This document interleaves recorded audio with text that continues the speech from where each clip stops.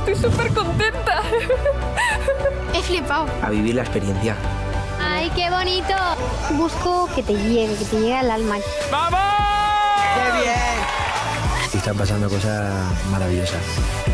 La Voz Kids. Esta noche a las 10 en Antena 3.